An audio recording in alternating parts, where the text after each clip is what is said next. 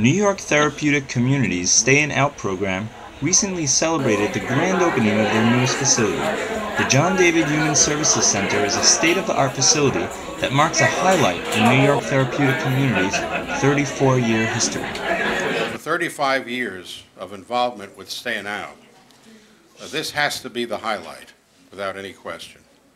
To see this building come to fruition uh, and to recall the ups and downs that we've had for 35 years is really a thrill. The John David Human Services Center is named for a former client of the program that exemplified rehabilitation and recovery. John David is a pioneer uh, in the field of rehabilitation and redemption.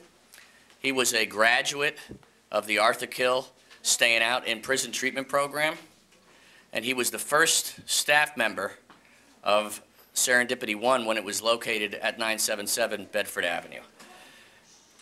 He is somebody that recognized that both rehabilitation and redemption were possible, and he exemplified that in his life. Uh, he passed away in 1992. Uh, I think the memory of John David and everything that he represented is uh, well, well served in this building. Ronald Williams, CEO and founder of New York Therapeutic Communities, says that it is not unusual for him to hire successful graduates of his program onto his staff.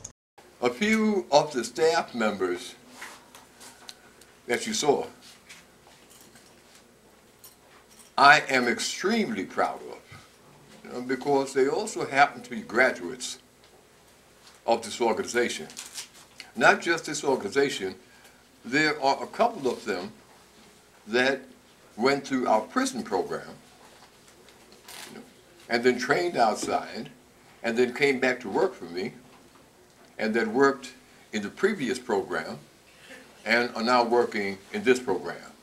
OASAS Commissioner Arlene Gonzalez Sanchez attended the grand opening and is proud of the unique programs offered by New York Therapeutic Communities. We are proud to be standing here today honoring New York therapeutic communities as one of the cornerstones of the region's services to criminal justice population. How nice it is to be here at this brand new state-of-the-art facility, which is the new home for the staff and clients of Serendipity One residential treatment program.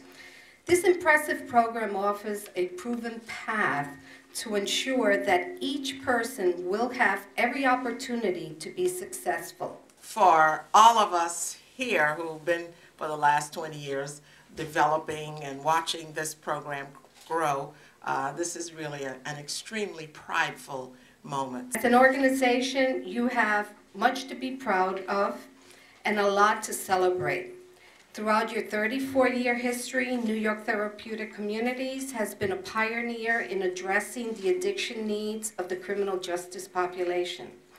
This, their long-term commitment to this population is exemplary and has set them apart as a national model for the other programs to emulate. They have proven integral to the achievements of so many individuals as they transition back into our community. To learn more about New York Therapeutic Communities or the John David Human Services Center, visit stayinout.org or call 212 971 6033.